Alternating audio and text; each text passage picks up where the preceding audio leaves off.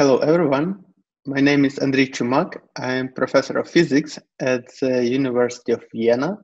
And this semester, I teach a course on advanced materials. I share it with one of my colleagues at the faculty.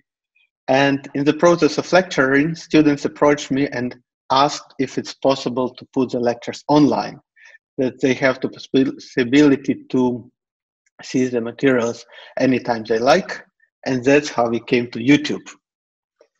In this short introductory video, I would like to say a few words about the content of the lecture and how it is organized. Let me share my screen first.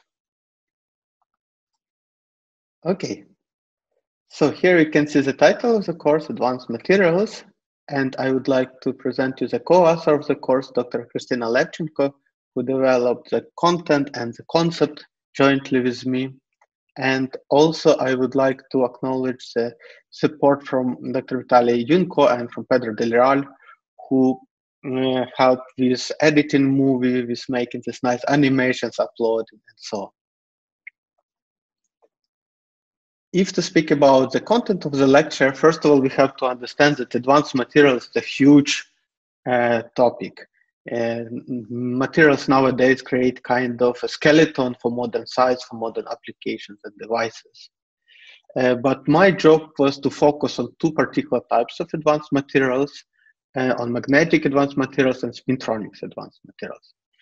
So in magnetic part, we will discuss magnetism. So we will try to clarify why some materials are magnetic and others not, which models are used, what are the typical families of magnetic materials, and of course we will discuss where they are used in our life. And then we will switch to spintronics, which is a field of science in which, in addition to charge of electron, which is used in electronics to carry and to process information, we use a spin of electron and it gives you additional degree of freedom and you can develop new types of devices you have access to a family of very cool interesting new physical phenomena and all this we will discuss in this part. And of course these two parts are closely related and we will be all the time uh, discussing the uh, overlap between them. What parts will be plugged into the course uh, so it will be always done slightly different, but the plan is that I will try to go through the following parts. First of all, of course, motivation. So you have to answer question why this material which is presented in the course is of interest at all. And for physics, usually it's quite easy because uh, a lot of achievements from physics are used in our everyday life.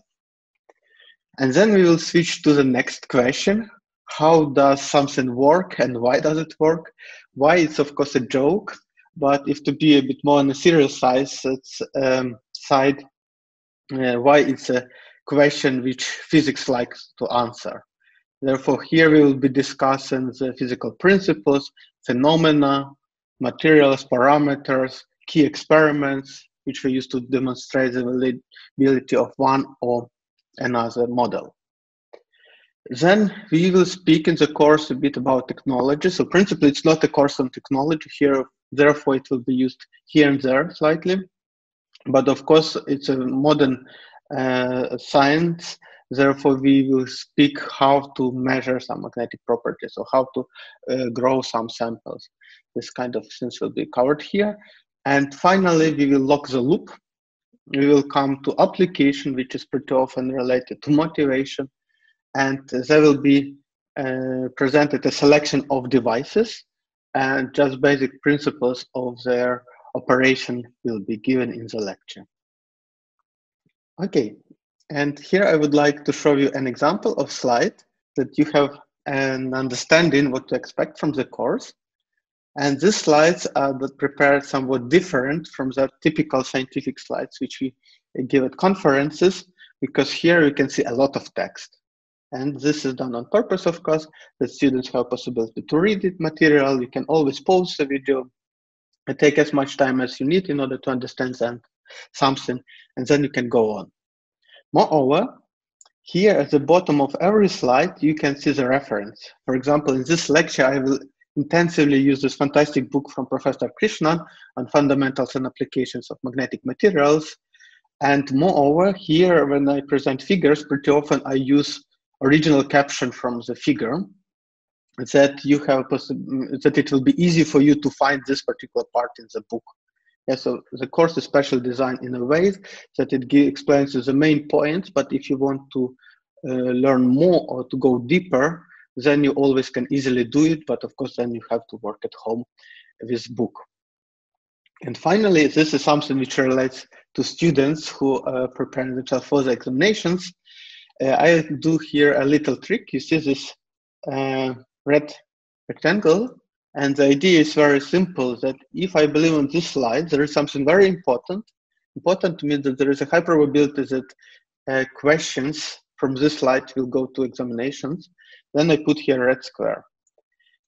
But at the same time, it's very important to give uh, another information around it just gives you a better understanding or better, better memorization of something.